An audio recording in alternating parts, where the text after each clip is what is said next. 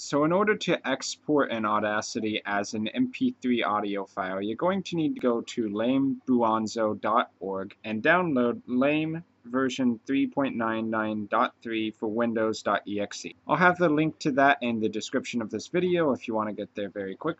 So once you have it downloaded, go ahead and install it just like any other automated Windows installation and go back into Audacity. Now to make sure that Audacity recognizes lame as being properly installed, go to the Preferences and Libraries menu where you should see MP3 library version, lame dot whatever the current version is. If you don't see that, you can hit the locate button to find it on your computer.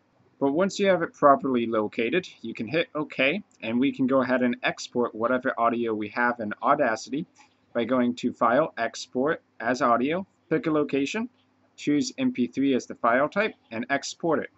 Now to make sure that that actually works properly, let's go ahead and double click this exported MP3 file and open it up in Audacity.